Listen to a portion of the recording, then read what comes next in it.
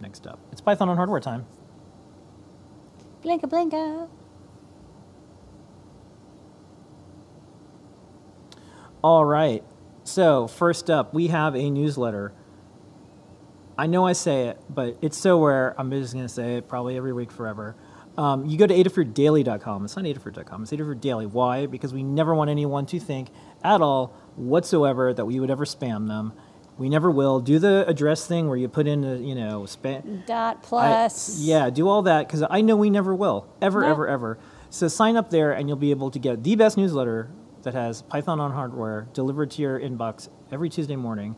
So this week, MicroPython adds official SAMD support for uh, MicroPython, which is kind of cool. We've had it for a while. Yes. And now MicroPython has it. Yes. Um, CircuitPython Online E- IDEs. This is kind of, I feel like this is the natural progression of when folks are having fun with a platform.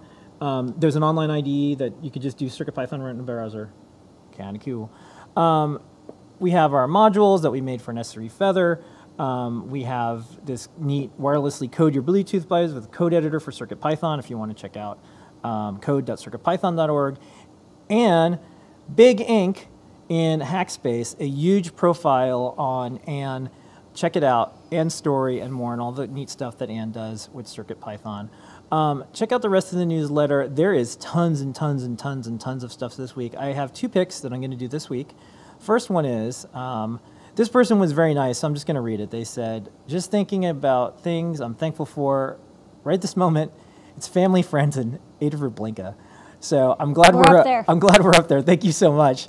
Um, I'm, gl- I'm glad we're not listed first. You know, I'll take third place on that one. Um, so thank you so much, uh, George, for the kind words. Our team really appreciates it. And then Trevor has an update for PyLeap. Take it away, Trevor. Hey folks, this is Trevor here to show you our new PyLeap beta update. This time around, we've added an additional seven example projects, and I'm here to show you a few of them. So let's start off with the Touch Tone Piano project. It's already downloaded, and I'll send it over right away. Let's see, only took a couple of seconds. And just like that, it's downloaded.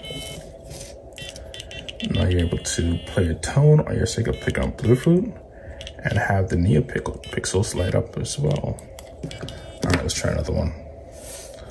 Let's try the button controlled NeoPixel project. All right, let's send it over.